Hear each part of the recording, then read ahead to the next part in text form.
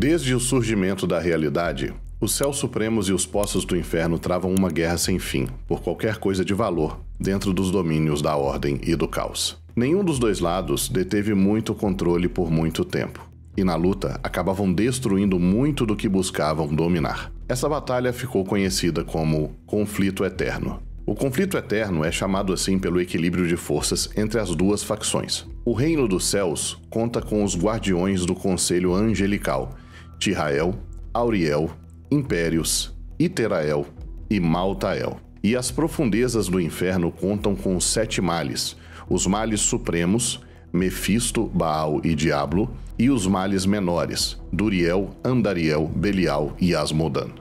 Aqui eu gostaria de abrir um parênteses na história. É do nosso senso comum que anjos são bons e protetores, enquanto demônios são maus e tentam corromper a humanidade. Isto em Diablo não existe. Nem sequer existe humanidade neste ponto. Estamos falando apenas de um exército da ordem e um exército do caos batalhando por poder e dominação. Os anjos são orgulhosos e ambiciosos e causam tanta devastação quanto as forças do inferno. O Guardião Impérios mesmo, em histórias futuras, mesmo sendo um guardião do Conselho Angelical, tenta acabar com a humanidade duas vezes. Com isto em mente, a história começa com Inários, um anjo valoroso e membro do Conselho Angelical. Um dia ele acaba capturado por uma poderosa súcubo chamada Lilith. Lilith não é uma súcubo comum, ostenta o título de Filha do Ódio e é conhecida assim por ser filha do mal supremo Mefisto, o senhor do ódio. Inarius não teme, ao invés disso, se apaixona por Lilith.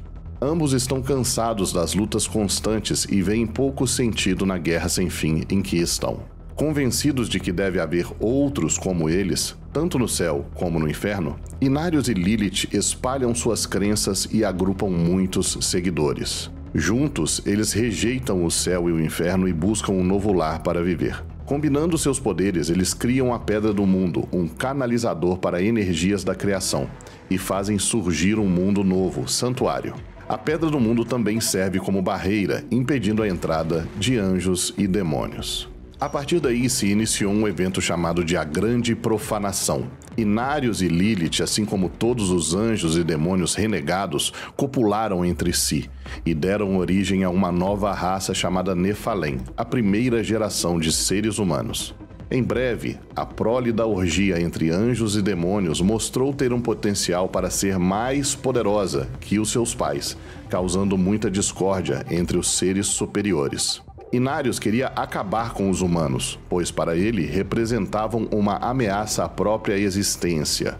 Lilith, por outro lado, queria elevar os Nephalem a um exército poderoso e fazê-los lutar contra o céu e contra o inferno. Lilith e Inarius começaram a lutar, e Inarius expulsou Lilith do santuário, aprisionando-a no vazio, e tomou o santuário para ele.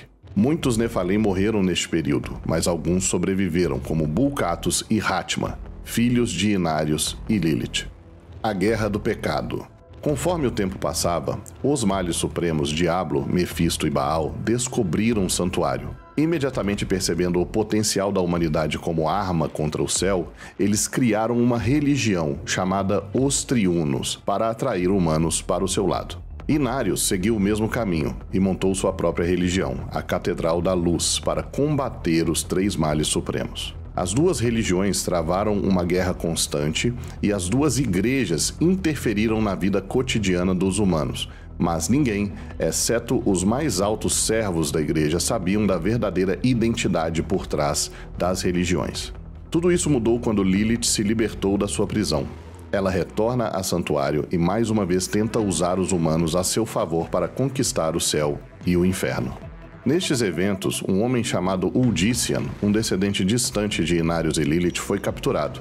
Sem que ele perceba, Lilith lhe dá poderes mágicos e o condena, fazendo com que ele acredite ser culpado de matar servos tanto da Triune quanto da Catedral da Luz e seja incapaz de se juntar a qualquer um dos cultos. A mente de Udician fica turva e confusa. Lilith se disfarça de uma humana chamada Lídia e persuade Udician a fazer tudo o que ela deseja, e o manipula durante boa parte da guerra.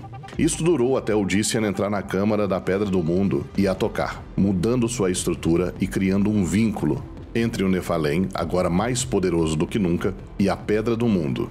Udician também se libertou da influência de Lilith e agora quer matá-la.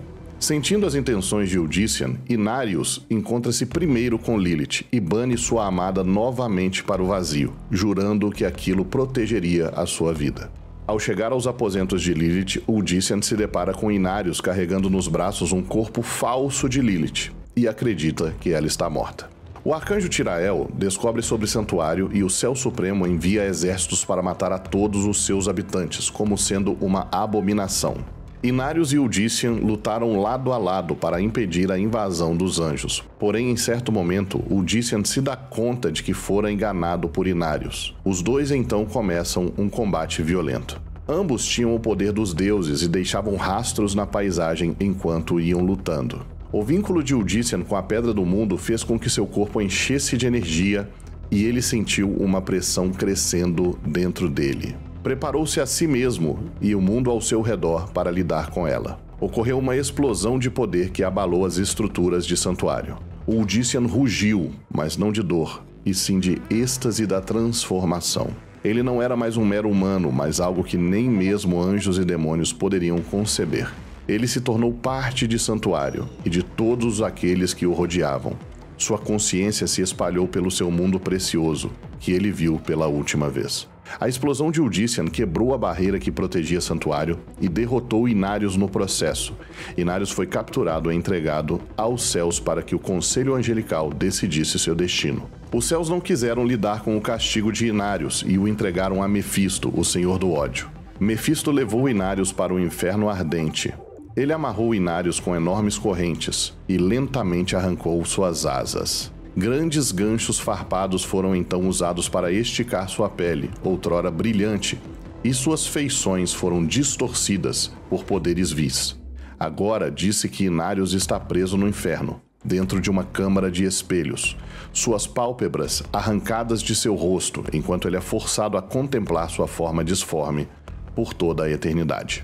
Estes acontecimentos são narrados em comic books lançados pela própria Blizzard em inglês, e as cinemáticas de Diablo 4 lançadas até o momento mostram um grupo de quatro exploradores em uma catacumba trazendo Lilith de volta. Sendo que o humano usado como receptáculo parece ser Hatma, o primeiro filho de Lilith e Inarius. Na segunda cinemática, vemos Inarius bastante poderoso, agora com suas asas e livre da prisão, pousando em frente a um exército de Nefalém que lutam contra legiões demoníacas. Em seguida, Inarius arremessa sua lança em direção a Lilith, claramente com a intenção de matar. Tem treta vindo aí. Galera, espero que vocês tenham gostado do vídeo. Deixe o seu like, compartilhe e se inscreva no canal. Um beijo do Ogro. Nosso conteúdo é diferente.